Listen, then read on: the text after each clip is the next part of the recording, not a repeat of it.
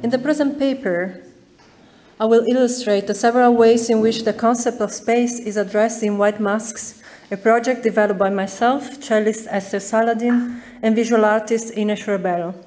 In particular, I will describe how the project's themes, loss and transition, suggest displacement and hence the motion between different spaces.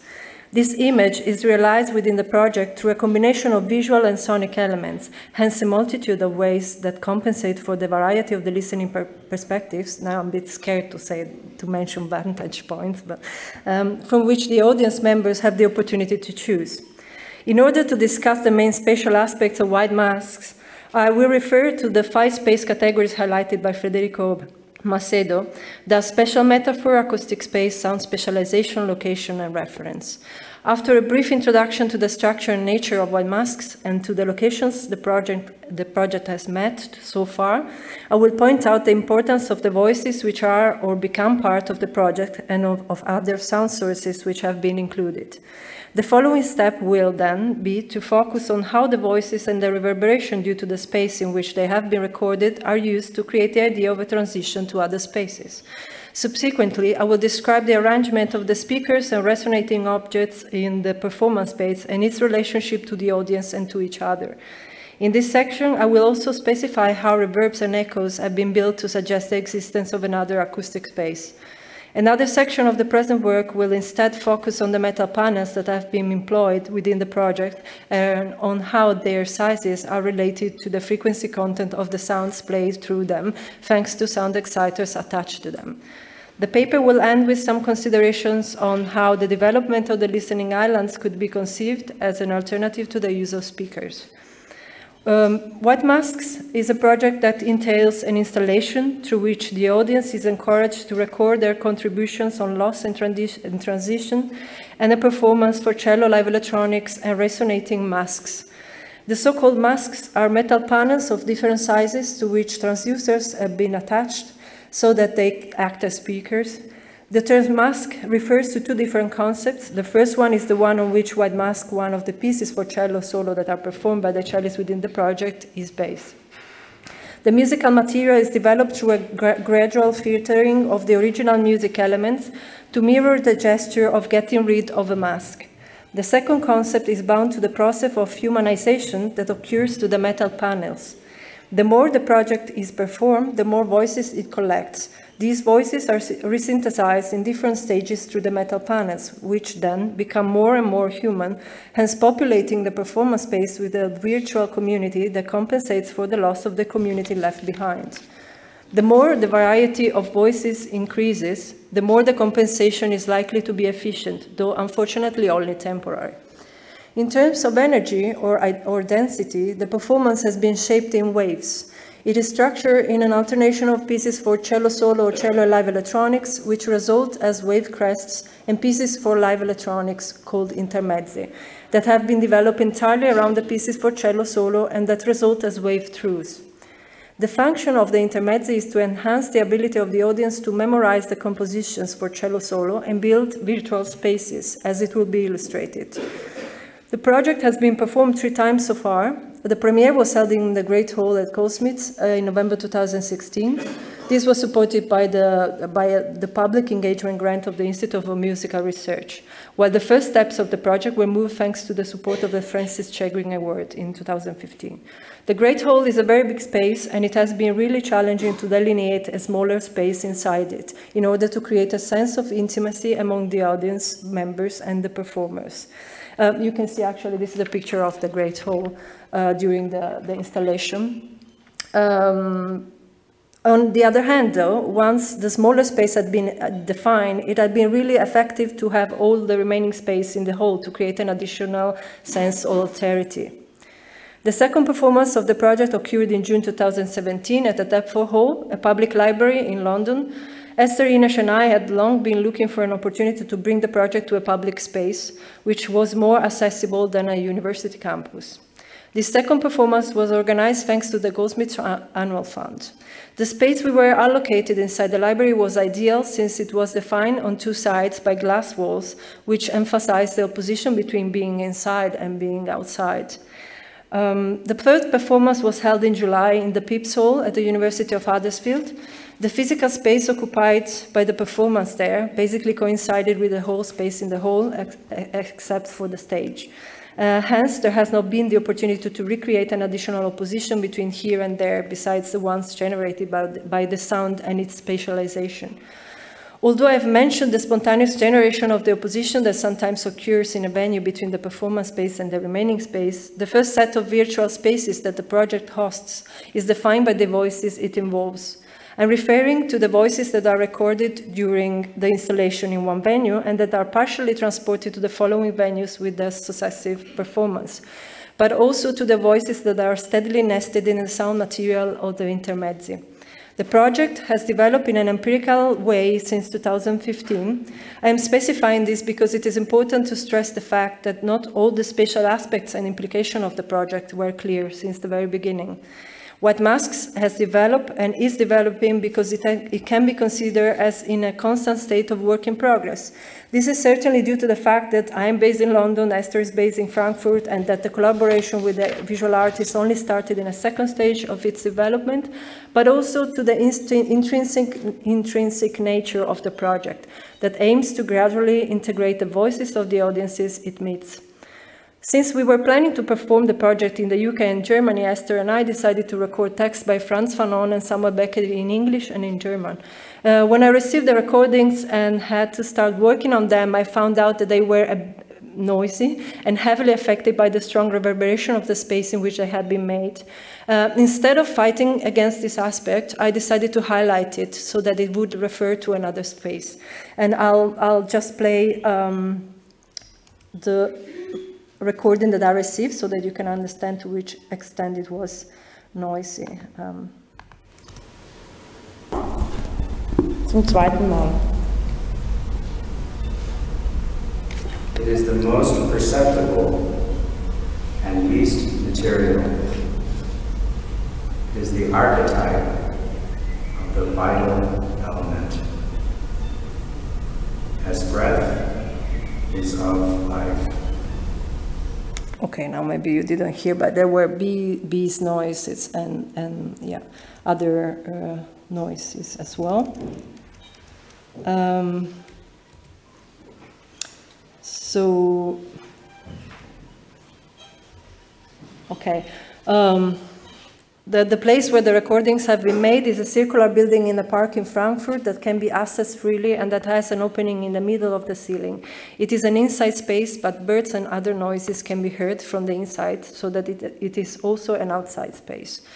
Um, the spectral morphology of the sounds as well has been used to re realize temporary transitions from one space to another.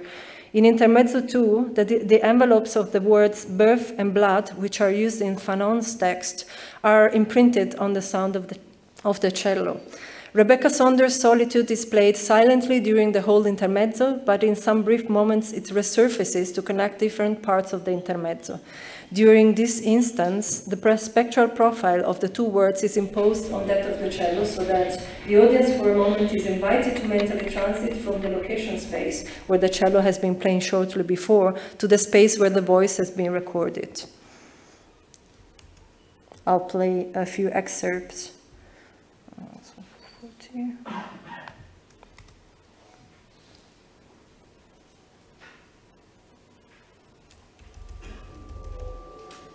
Could you raise the volume?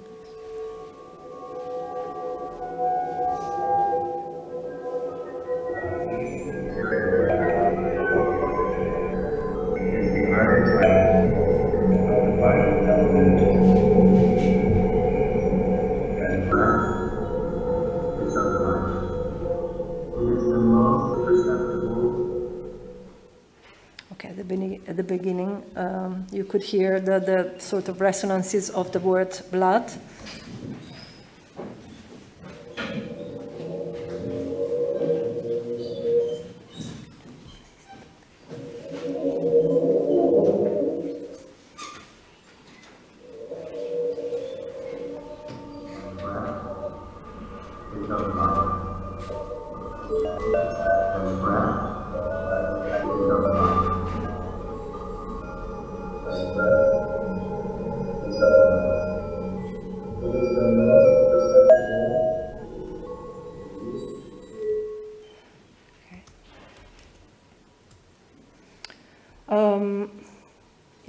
The section on the masks, I will describe further the treatments which some of the voices go through. Another sound has been used in the project to generate a reference space. That's the sound of Mbira, uh, the thumb piano. This sound has been chosen for both its sound properties and for the cultural association we develop when we hear it. Cera is a piece for cello, solo, and live electronics that aims to transform the sound of the cello into Mbira and the voice of its player.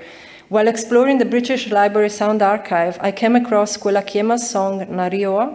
Since I really like the level of synthesis between Quella's voice and the sound of the mbira he plays in that recording, I decided to synthesize specific fragments of the song in which this synthesis is particularly successful. The cello, as an instrument connected to the European music tradition, is transformed into a traditional instrument that has to adapt to a European music notation uh, sorry, transform into a traditional instrument used widely in Zimbabwe and in other African countries. For once, it is not a traditional instrument that has to adapt to the European music notation, but it is a European performer who has to use improvisation and synthesize a traditional instrument.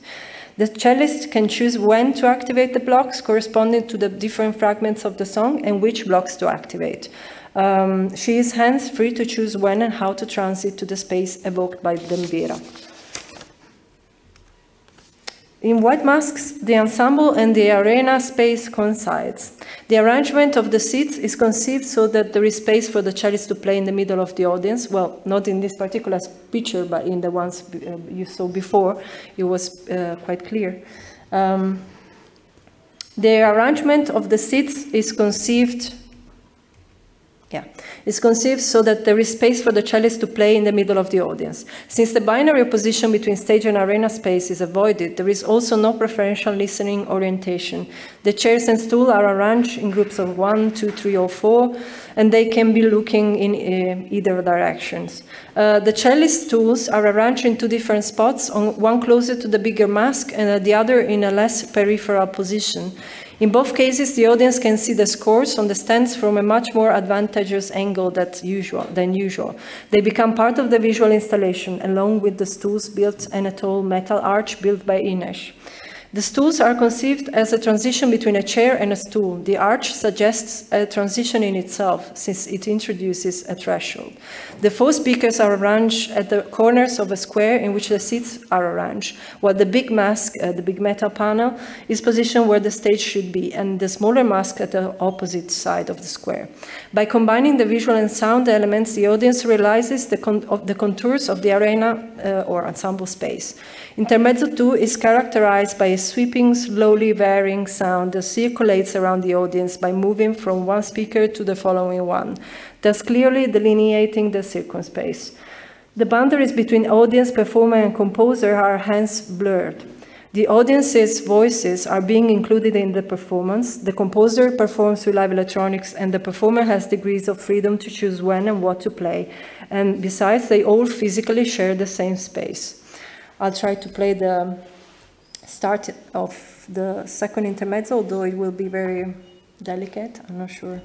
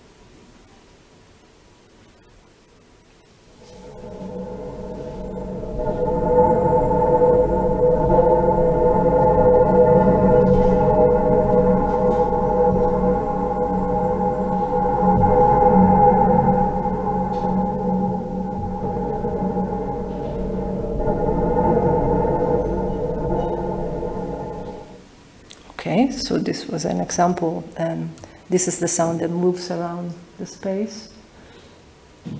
Um,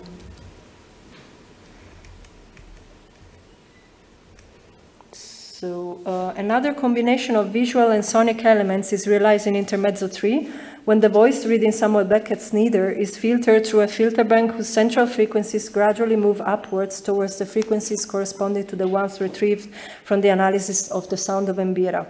The spectral morphology of the sound is hence realized so that it mirrors the structure um, of the arch. I decided to realize these ascending glissandos as a spatial metaphor to accompany the presence of the arch, which is the only vertical object inside the arena ensemble space. Although the kind of sound diffusion the project uses at the present time does not include speakers or resonating objects in a higher position, the nature of the ascending gesture compensates for it and suggests an, ele an elevated activity so that the per perspectival space manages to be somehow extended upward in terms of spatialization, while the voice is decomposed through the filter bank and later recomposed through different speakers, the sound of the mbira is created so that the final image of the gesture, thus the mbira sound, appears as a convergence of all the glissandos. As described in detail by Trevor Wishart, spatial convergence highlights timbral convergence. And I'll play a few excerpts. Mm. Between two big refuges whose doors, once there, gently closed. Once away turned from, gently turn again. Beckoned back and forth and turned away, heedless of the intent on the one being or the.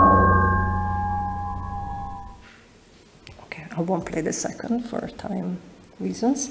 Um, okay.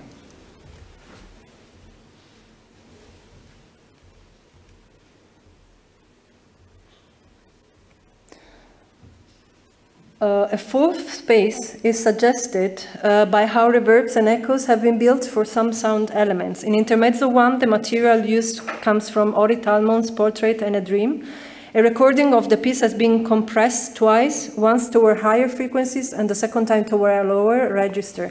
And the timing of the musical events in the piece are intact.